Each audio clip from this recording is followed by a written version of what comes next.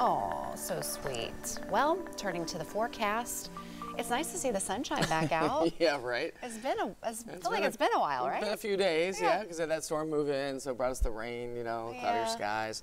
Yesterday we didn't necessarily see a whole lot of rain, but we stayed cloudy, Mm-hmm. stayed on the cool side, the back side of the system, and now the dry air is coming through, and so that's what's leading to the beautiful sunshine that we're already starting to see out there. Let's uh, talk about numbers though, because yesterday was a very average day, despite the fact that we had the clouds in place. Uh, we topped out at 48 degrees after a morning low of 42. It's only warm six degrees. Averages are 49 and 32, and the records were 71 and 5. That was for your Sunday.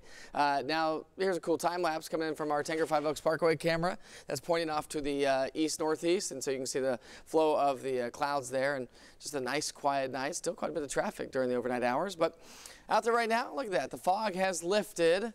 And now it's just turning into a few clouds elevated off the ground. I mean, well, fog is a cloud, it's just on the ground, right? But now it's starting to mix out, and this is just going to be a picture perfect uh, day. Really looking at tons of sunshine, some nice dry conditions. We're going to warm up a little bit more than what we saw yesterday. We're already at 46, and it's 12 18 in the afternoon.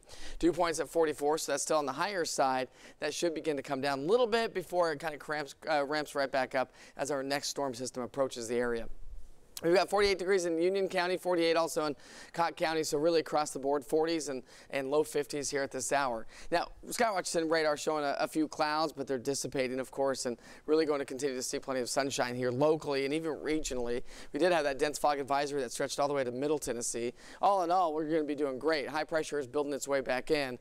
Uh, we do have some clouds that are off to our south and southwest that pr- produce some high level clouds over the next couple of days. But all in all, really high pressure is going to give us just tons of sunshine today and tomorrow.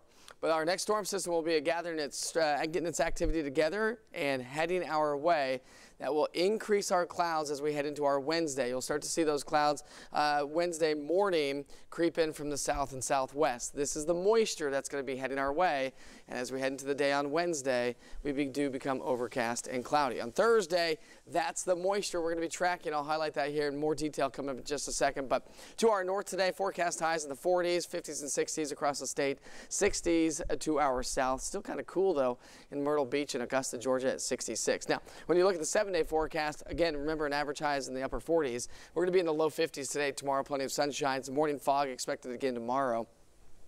Increasing clouds through the day on Wednesday. We start off at 33, we warm to 54, and then here comes the rain Thursday and Friday. By the way, Friday is the first day of winter, and that officially comes in at 523, and then we'll cool off a little bit over the weekend. But here's the setup. So remember, picking up the timeline here again at 7 o'clock in the morning on Wednesday, moisture starts to push our way. Clouds are going to be with us. Chance of rain increases Thursday morning.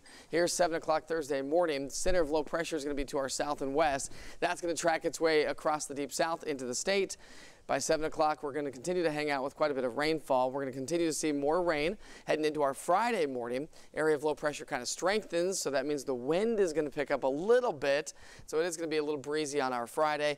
On the back side of that system, we don't have a ton of cold air as it stands right now, but you can see this, the mountains will be squeezing out some snowfall, and we'll see more snowfall up to our north. Rainfall is going to be pretty impressive. We could see anywhere from one to two inches of rainfall here locally and around our region.